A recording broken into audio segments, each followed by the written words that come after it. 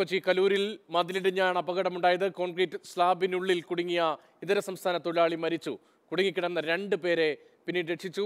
ഫയർഫോഴ്സും പോലീസും ചേർന്ന് രണ്ട് മണിക്കൂർ നീണ്ട രക്ഷാപ്രവർത്തനത്തിനൊടുവിലാണ് ഈ രണ്ടുപേരെ പുറത്തെടുക്കാൻ കഴിഞ്ഞത്. ബിനിൽ വിവരങ്ങളുമായി ചേരുകയാണ്. ബിനിൽ എങ്ങനെയാണ് ഈ അപകടമുണ്ടായത്? രക്ഷപ്പെടുത്തിയ ആളുകളുടെ ആരോഗ്യസ്ഥിതി എങ്ങനെയാണ്?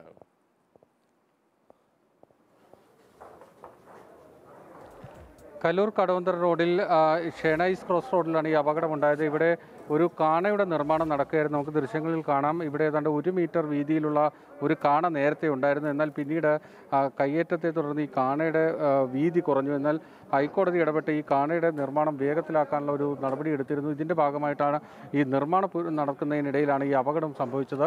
നമ്മൾ ദൃശ്യങ്ങളിൽ കാണുന്നത് പോലെ വീടിന്റെ ഒരു സൺഷെയ്ഡിന്റെ മുകളിൽ ഏതാണ്ട് നാലിഞ്ച് കനമുള്ള ആ വലിയ കോൺക്രീറ്റ് സ്ലാബ് ഉണ്ടായിരുന്നു. ആ കോൺക്രീറ്റ് സ്ലാബ് കാണ നിർമ്മാണത്തിനിടെ നേരെ ഈ കാണയിലേക്ക് പതിക്കുകയാണ് ഉണ്ടായത്. അതായത് കൃത്യമായ ഒരു സുരക്ഷാ ക്രമീകരണങ്ങൾ ഇല്ലാതെ ഈ പ്രവൃത്തി നടന്നു എന്നതാണ് നാട്ടുകാരടക്കം പറയുന്നത്. കാരണം വലിയ കോൺക്രീറ്റ് സ്ലാബായിരുന്നു. ആ കോൺക്രീറ്റ് സ്ലാബിനെ താങ്ങി നിർത്താൻ ശേഷിയുള്ള എന്തെങ്കിലും മുട്ടോ മറ്റ് സംവിധാനങ്ങളോ ഒന്നും തന്നെ ഇവിടെ ഏർപ്പെടുത്തിയിരുന്നില്ല. അതാണ് ഈ വലിയ അപകടത്തിലേക്ക് നയിച്ചത്. ഈ സംഭവത്തിൽ ആന്ധ്രാപ്രദേശ് സ്വദേശിയായ ധൻപാലാണ് മരിച്ചത്. ആന്ധ്രാപ്രദേശ് സ്വദേശികളായ രണ്ട് തൊഴിലാളികളെ ജ- രക്ഷപ്പെടുത്താനും കഴിഞ്ഞു. ഇവരുടെ അരയ്ക്ക് താഴേക്കാണ് കോൺക്രീറ്റ് വലിയ കോൺക്രീറ്റ് ഭാഗം വന്ന് വീണത്. അവരെ ഫയർഫോഴ്സും മറ്റ് പോലീസും ഒക്കെ എത്തി.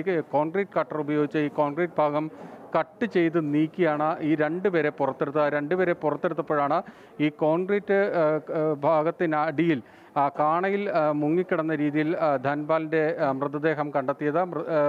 ധൻപാലിന്റെ മൃതദേഹം ഏതാണ്ട് ഒന്നര മണിക്കൂറോളം സമയമെടുത്താണ് പുറത്തെത്തിക്കാൻ കഴിഞ്ഞത്. ആദ്യം ഈ രണ്ട് തൊഴിലാളികൾ ഈ കോൺക്രീറ്റ് സ്ലാബിന് മുകളിൽ ഉണ്ടായിരുന്ന രണ്ട് പേരുണ്ട്. അവരുടെ മുട്ടിന് താഴെയുള്ള ഭാഗത്താണ് പരിക്കേറ്റത്. അവരെ രണ്ടുപേരെയും കളമശ്ശേരി മെഡിക്കൽ കോളേജ് ആശുപത്രിയിലേക്ക് മാറ്റുകയും ചെയ്തിട്ടുണ്ട്. അല്പം മുമ്പ് മേയർ എം അനിൽകുമാർ ഈ സംഭവ സ്ഥലം സന്ദർശിച്ചിരുന്നു. ഇവിടെ കയ്യേറ്റമടക്കം ഉണ്ടായിട്ടുണ്ട് എന്ന ആ, കാര്യമാണ് അദ്ദേഹം ചൂണ്ടിക്കാണിച്ചത്. അതോടൊപ്പം തന്നെ അശാസ്ത്രീയമായ നിർമ്മാണ രീതിയാണ് ഉണ്ടായിരുന്നത് എന്ന വിമർശനവും കൊച്ചി കോർപ്പറേഷന്റെ ഭാഗത്തു നിന്നുണ്ടായിട്ടുണ്ട് ഇക്കാര്യങ്ങളെല്ലാം തന്നെ വിശദമായ പരിശോധന അനിവാര്യമാണ് എന്നാണ് കോർപ്പറേഷൻ വ്യക്തമാക്കിയിരിക്കുന്നത്. പോലീസ് അടക്കം ഇക്കാര്യം പരിശോധിക്കുമെന്നും മേയർ അറിയിച്ചിട്ടുണ്ട്. അത്തരത്തിൽ വലിയൊരു ദുരന്തമാണ് ഇവിടെ സംഭവിച്ചത്. അതിദാരുണമായ ഒരു സംഭവം കാരണം കാണയുടെ നിർമ്മാണ പ്രവൃത്തി ഏതാണ്ട് അവസാന ഘട്ടത്തിൽ എത്തി നിൽക്കുകയാണ്.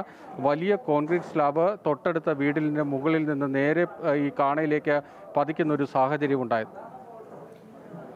കൊച്ചിയിലാണ് ഈ അപകടമുണ്ടായത്. ഒരു ഇതര സംസ്ഥാന തൊഴിലാളി മരിച്ചു. രണ്ടുപേർക്ക് ഗുരുതരമായ പരിക്ക് പറ്റി. അവിടെ നിന്നുള്ള ദൃശ്യങ്ങളും വിവരങ്ങളുമാണ് ബിനിൽ പങ്കുവച്ചത്.